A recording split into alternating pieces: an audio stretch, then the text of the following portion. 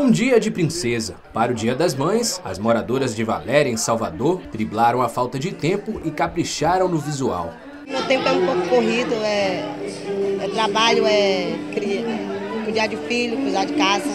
Hoje eu tirei um tempo para vir aqui olhar e cuidar um pouco da minha beleza.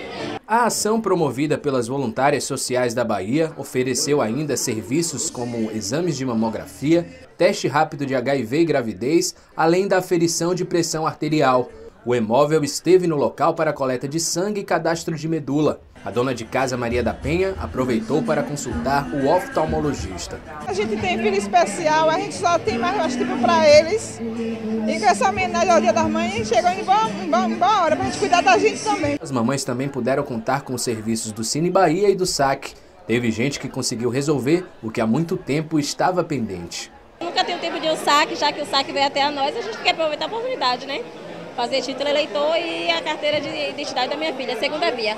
As voluntárias sociais vai ter uma casa dentro de cada comunidade em Salvador e talvez no interior se eu conseguir chegar lá.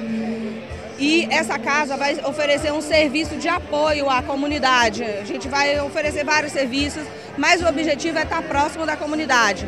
E Valéria foi escolhido como o primeiro. E nesse Dia das Mães eu quis dar esse presente, a gente veio para aqui primeiro. Mas vamos ter outras feiras.